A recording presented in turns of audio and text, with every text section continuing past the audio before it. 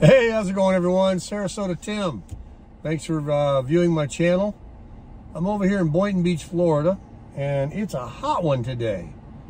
I, I tried to walk. I walked about a mile, mile point two, and trying to get my steps in, but I started a little bit too late, and today, I don't know what it is, but it's getting closer to summer, and once uh, that actual spring date happened the other day, it's been getting very warm every day. So I, I just couldn't take it. I was, you know, so i I'll walk in a mall later or I'll walk this evening. So I'm just going to go over to the store right now and get myself a um, salad. I buy those salad kits at Publix, the Caesar salad kit, and I'll have a can of um, garden vegetable progresso soup. That's my new thing. Trying to lose some weight, trying to keep my walking going. Same old story. Everybody's doing the same thing. But uh, I would like to talk to you guys today about living on Social Security. You know, it was it's always been tough for people living on Social Security because it's not a lot of money and it doesn't go very far. But now, as anybody knows, with the cost of, uh, unless you have a place that you've been in that you own or a mobile home or a home that's paid for, unless you have that, if you're paying rent, most likely your rent got raised, like mine did over in Sarasota. That's why I'm in Boynton Beach, living in a 16 foot travel trailer camper. But it's uh, it's really getting tough because you get so much money. People get between 12 and 1500 on average for Social Security. Some get a little less. They didn't work a lot or file taxes, and um, and some might get more that paid a lot in. But it's not a lot of difference. I'm right there in the average to above average. And, you know, only because they raised it 8.7% at the beginning of the year for the inflation. And then as soon as they did that, bread went to $5 a loaf. Gas keeps getting higher. And so, really, it just ate it right up. I mean, I'm thankful I got it.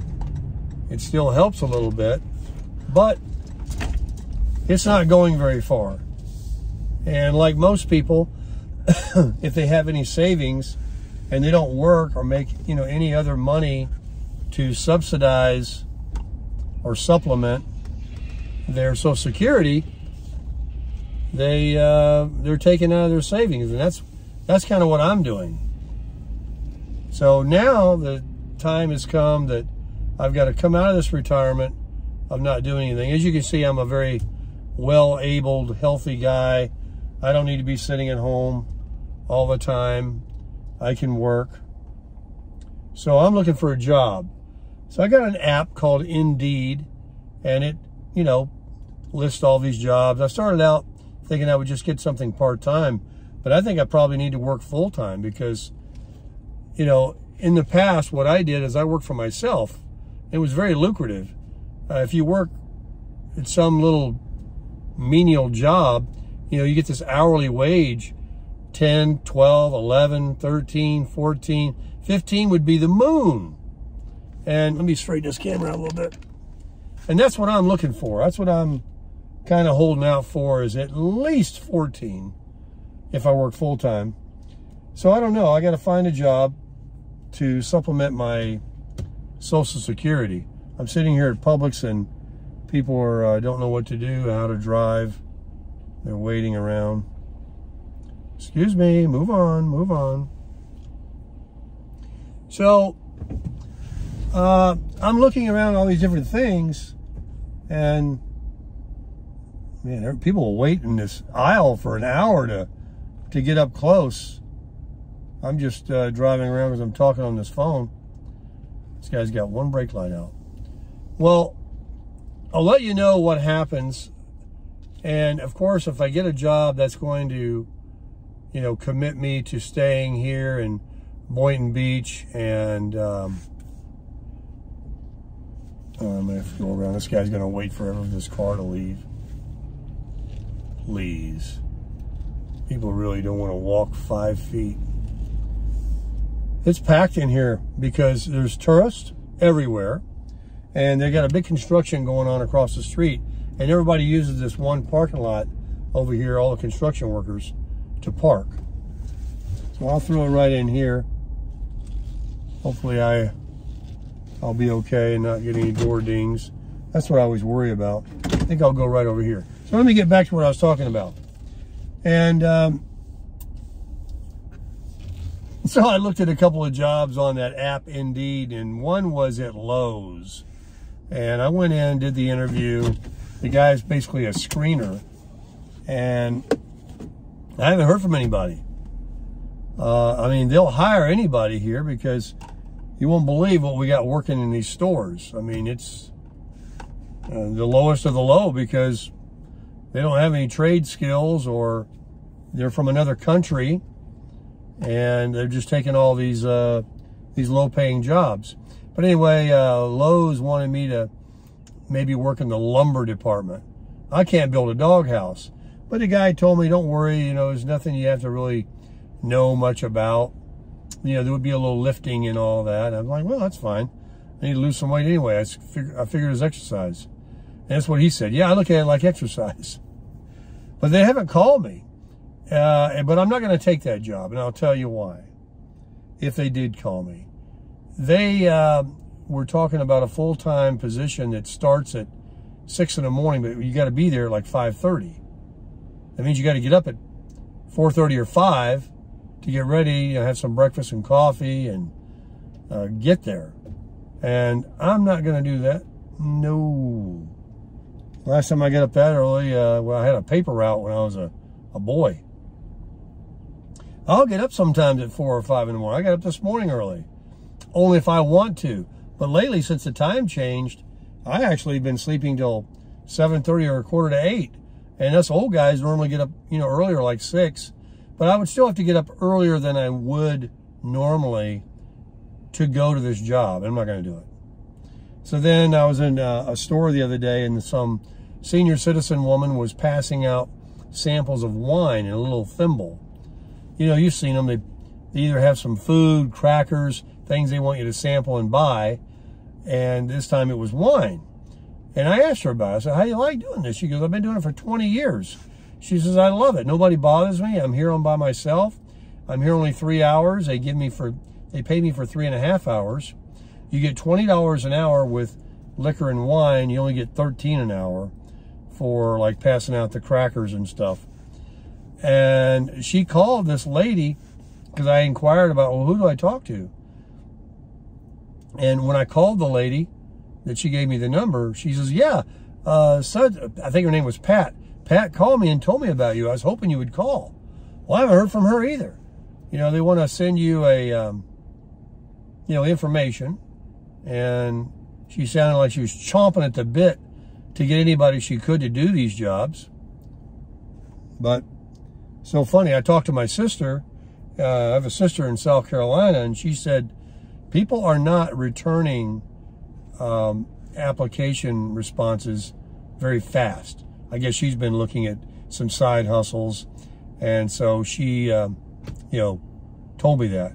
So I guess it's not unusual, but I, you know, back in the day when I used to work for somebody before I worked for myself, you know, you just went into a business and asked for the manager or the owner and, you know, ask for about a job.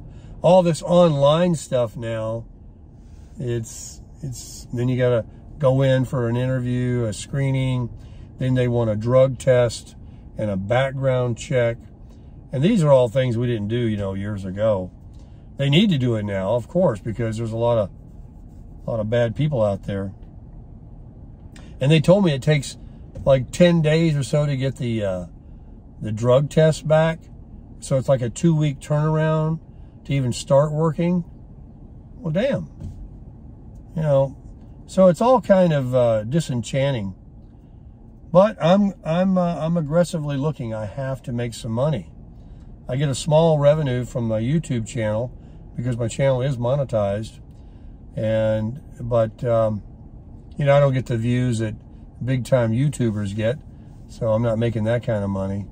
I would love to. I would love to be able to come up with some great content, some riveting viral videos.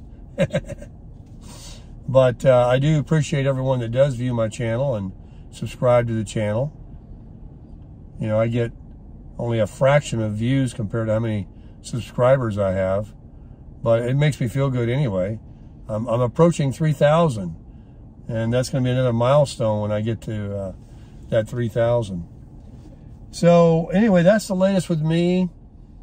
Um, desperately trying to figure out something to talk about for you guys. Drive around and face the camera the other way and show you some areas in Florida. The whole idea about traveling with the camper, I kind of put the kibosh on because that was going to be a great, uh, great videos I could have made, made some good content by traveling around the U.S. in my 4Runner pulling my Wolf Pup camper. But this thing only gets 10 miles per gallon and that would not that would not allow me to work and make anything. It would just cost.